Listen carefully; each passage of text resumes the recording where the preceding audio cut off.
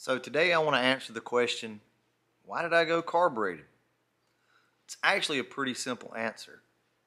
I love carburetors. Pretty much all I've owned on this channel is EFI cars from the day we started, other than the 65 over here. Some of my favorite hot rods throughout the years have been carbureted. I've had a Pontiac Ventura that I absolutely loved, little 406 small block. This thing was awesome. Had a carburetor, never missed a beat. Car ran 690s and you could drive it everywhere on motor. I also had a little notchback that wasn't really fast. It run like 770s or something like that. Little 302 carbureted vacuum secondary car. And I really enjoyed that thing. Here's the thing. A carbureted car just has a certain feel about it. Characteristics that you can't get with EFI. I remember when the first EFI cars, well, Mustang wise, first started hitting the streets. I remember looking under the hood of one of these cars thinking, this is like a damn spaceship. Nobody around me knew how to work on them. We were just terrified of them, and we wanted our carburetors. It took years before we ever really got to the point to where we really knew what was going on with these cars. Carburetors are more mechanical in nature, obviously. They're not arbitrary numbers uh, on a graph that you're just inputting and changing in every little cell. You grab a screwdriver and a 5 16 and you can pretty much do anything you need to do to a carburetor. As long as you got yourself a jet kit and you can pick different jets out and maybe a couple different power valves, you can do almost anything you need to do to a carburetor. I say that because a lot of people are terrified of carburetors. They just think that you can't rely on them, you can't have a carbureted car that you could drive two or three hundred miles on a trip. You know, what about uh, altitude change? What about weather change? Listen, for the most part, a carbureted car is pretty forgiving. Through the years, EFI has made huge progressions, leaps and bounds from where it used to be whenever it first really started hitting the scene. With all that being said, let's talk about why I wanted to go this route. Well, at the time, when I first started this channel, we started it with an EFI car, which would be the Retro Fox. Then we built this car, and since then we've done the Carbon Fox. The Retro Fox and the Carbon Fox both have Moates quarter horse chips in them. No problems. Matt over at Leach Motorsports tuned those things. First try, they were great. He come in with a couple more revisions, and those cars are awesome. Very few issues with those cars. I absolutely love them. I feel like I can get in them and go with no issues. So I had a Mega Squirt in the Calypso, and I just couldn't dial in the idle. Uh, I could get it close, but it would change from day to day. But this was EFI, right? It's not supposed to do that. So I'm pulling my hair out trying to tune this thing. The more I read, the more I found out people were having those same issues. So I decided to go Holley. Surely that'll fix all of my issues, right? So order the Holley, put it in the car, and almost immediately I was very impressed. I'm like, okay, this is sweet. So Matt jumps on this thing, starts tuning it, and wow, you know, very quickly, this thing's running pretty good. I'm driving it. We had a few little issues that come back, which was the consistent idle I was looking for. I couldn't find with the Holley.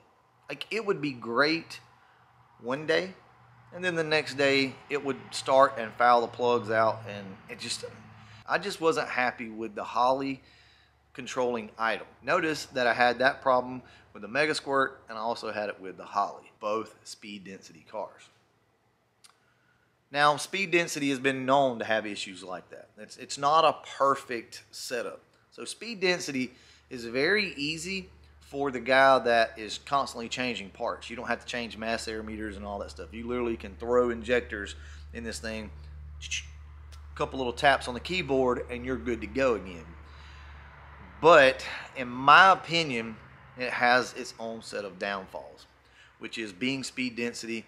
It's going to be more susceptible to issues when it comes to weather change and things like that. Most of the time, the car ran great, occasionally I'd go out and I'd start this thing up and it just didn't want to run right. It would run rich. I would have to go drive it or else it was going to foul the plugs out. And honestly, I didn't even bother Matt with it anymore. Uh, it had gotten to the point to where I'm just like, screw it. You know what?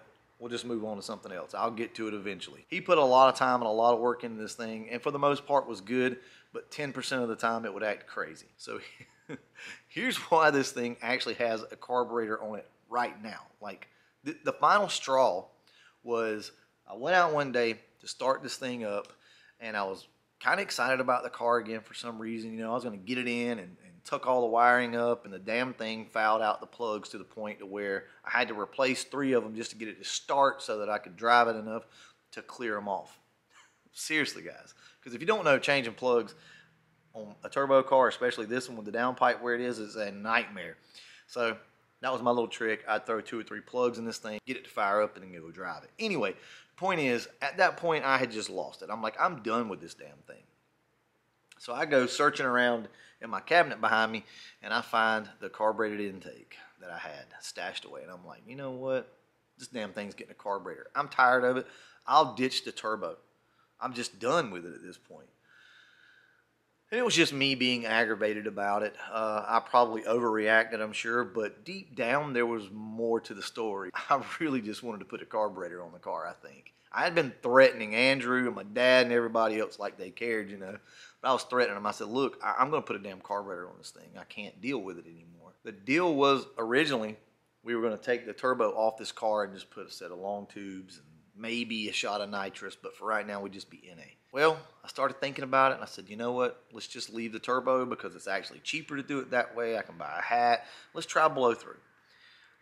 Well, at that point, I became intrigued by it because in all of my years, blow through setups typically just don't work good. I've seen so many guys deal with issues with blow through setups.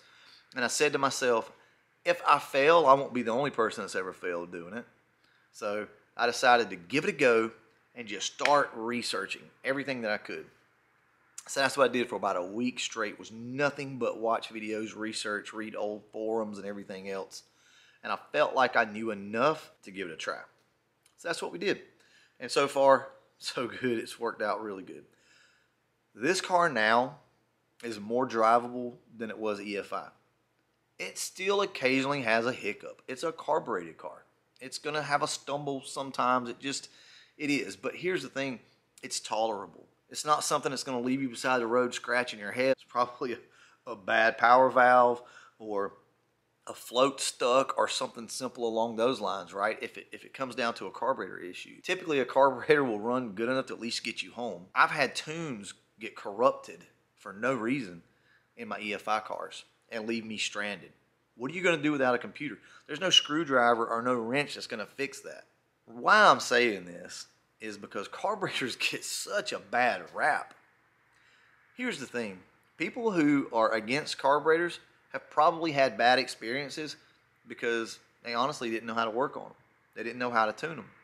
I mean, hey, I was one of those guys as well, but luckily I had some pretty good experiences through the years. People that say it's old technology and, and, there, and there's better ways now, yeah, you could absolutely argue that point. You could also look at some of the faster cars out there in the world right now, and a lot of those things are actually still running carburetors. So they can be made to be efficient, believe it or not. The AFRs on my car right now are actually fairly consistent. Uh, probably not as good as the EFI. It's got some little spikes here and there, but if you smooth it out, it's actually really, really close. And I mean all the way through the whole circuit, right? From primaries to power valve to secondaries and the power valve in the back. It's actually pretty smooth. There's a couple little imperfections in there, guys, but it's actually really good. Here's what I know. As long as my fuel pump's working, more than likely I can get this car started and I can get my butt home if something happens. I've had it happen with the EFI car that I couldn't. I had to get my wife to bring me a laptop one day. Luckily, I was only two or three miles down the road testing. I don't know, something happened. Computer freaked out, lost my tune, and I had to get her to come bring me a computer to get this thing home. It would not start. So, there again, I'm not trying to talk anybody out of EFI. Fuel injection is awesome. But so are carburetors. You just got to put the time and research in to understand how they work. That's the problem people have, I do believe, when it comes to carburetors, is they just don't put the time and effort in to understand how they work so that you can make the changes you need to make. This isn't a carburetor tutorial video, but I will say this. I want, I want you guys to remember this. Anybody wondering about a carburetor, you really, really need an AFR gauge. a wideband, just like you would with an EFI car if you want this thing to perform properly. You need to know what this thing is at full throttle and everything else. Now, you can guess at it like we all did back in the day, but if you've got nitrous or boost or something like that, you really need to monitor that stuff. And if you do, and you make the right changes, you'll have an awesome, awesome carburetor that will be super fun to drive and it'll surprise people. The throttle response on a carburetor is second to none. It's amazing when they're right. So why did I go carbureted? Because they're badass, man. Now carburetors are the different thing. And I also wanted to challenge myself. I wanted to see if I could do this. To prove to you guys that if I can do it, you can do it. This car's not perfect. Don't get me wrong. We still got some stuff we need to work out. And I could blow it up tomorrow for all I know. But I can tell you this it runs really good, and I'm super excited about it. So, with that being said, I'm going to go ahead and wrap this one up. That's food for thought, and I'll catch you in the next one. Oh, yeah, and as always, thanks for watching.